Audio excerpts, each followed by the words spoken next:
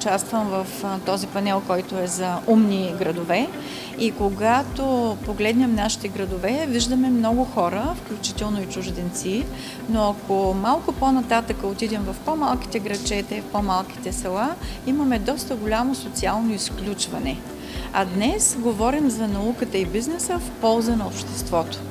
Нашите университети са призвани да водят такива дисциплини, които са свързани както с бизнеса и науката, но и с обществото. Така че аз виждам много добри възможности и ние вече го правим.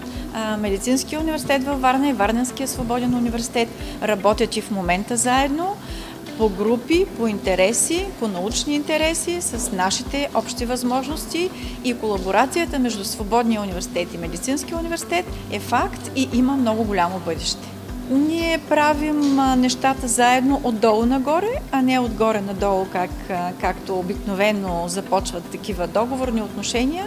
Това са хора по интереси, научни групи, които работят заедно, като прилагат своите компетенции, своето знание, пак в полза на науката и обществото. А пък медицината с IT технологиите, с финансовите технологии, за които слушахме преди малко, какво по-добро от това да го направим заедно. Искам да допълня и нещо много важно. Днес акредитацията на университетите и техния рейтинг вече е в европейски план.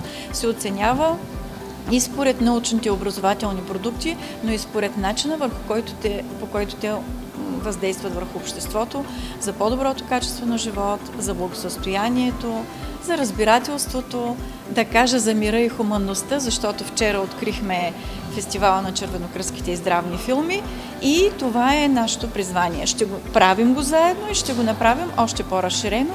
Този а, форум е едно доказателство за това.